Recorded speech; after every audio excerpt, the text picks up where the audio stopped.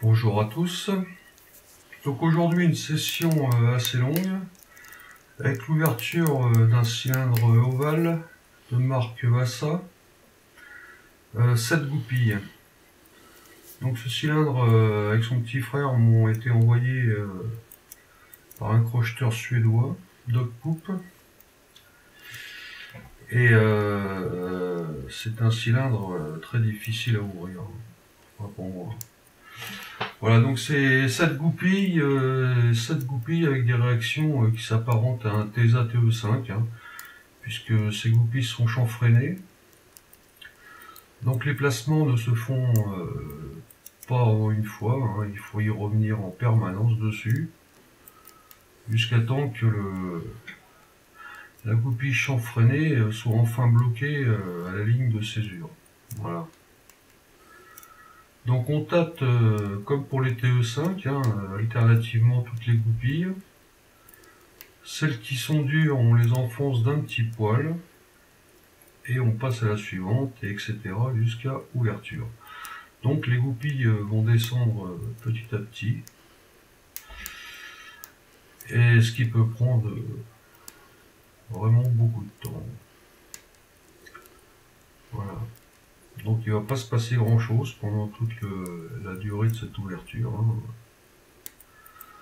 Pour ceux qui sont pressés, ils peuvent aller directement à la fin, euh, ils verront l'ouverture.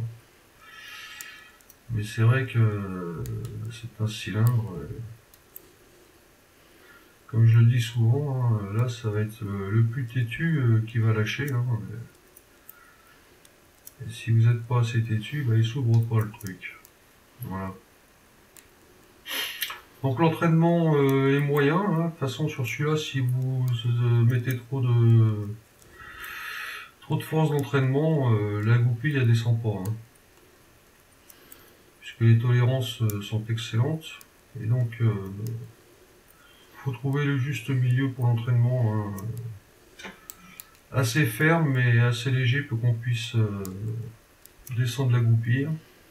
Alors qu'on la, on la descend, la goupille comme je le dis souvent, euh, juste d'un petit poil. Hein. En général, euh, ça fait un petit clic et euh, on a l'impression qu'elle remonte de suite, hein, mais c'est pas grave. On continue le, palpage.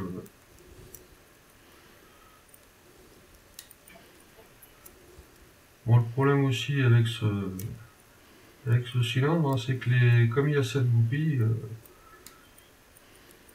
par exemple les, les pics, le corbeau sont trop courts pour aller chercher la septième. Donc là j'utilise un pic sous tord, euh, le classique là, euh, c'est plus la référence mais euh, avec une courbe moyenne. Ouais, le sous tord, vous voyez que quand je vais chercher la septième, je suis pas loin d'être tout au bout. Hein. Voilà. Bon, un désavantage quand même sur ce cylindre, c'est qu'il y a beaucoup de place pour travailler, heureusement puisqu'on aurait eu un profil euh, restrictif, à mon avis, euh, ça serait encore plus galère. Voilà.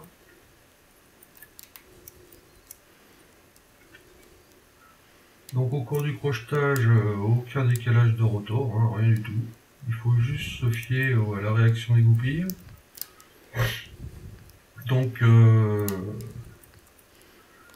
la goupille qui va offrir une petite résistance, on essaye de l'enfoncer un poil. Alors des fois il faut appuyer assez fort. Et euh, par contre elle peut aussi être placée comme là à la septième, et très haute, très dure. Et j'arrive pas à l'enfoncer, donc à mon avis elle est en place, hein, mais euh, on a toujours un doute. Donc de temps en temps je reviens dessus quand même, pour voir si des fois j'aurais pas un petit clic en, l'enfonçant. Hein. C'est très difficile à savoir euh, si une goupille est placée ou pas. Euh. En plus, j'ai remarqué que sur la fin, sur celui-là, euh, normalement une goupille en place a un très petit débattement, on sent le ressort quand même en dessous. Et par contre, sur celle-là, en cours de crochetage, on sent ce petit débattement sur une goupille presque en place. Et sur la fin, elle bouge presque plus. Comme là, la septième est dure, j'ai pas d'effet ressort. C'est assez perturbant. On peut penser qu'elle est pas en place, mais euh, je pense qu'il quand même. Et la même chose se produit avec la, première, deuxième, troisième. Donc c'est assez délicat.